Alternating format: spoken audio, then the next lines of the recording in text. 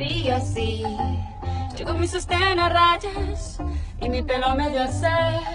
Pensaste todavía es un niño, pero ¿qué le voy a hacer? Es lo que andaba buscando, el doctor recomendando. Creí que estaba soñando.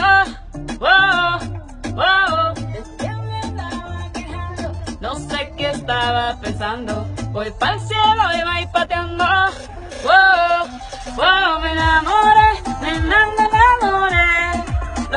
Solito y me lancé, me enamoré.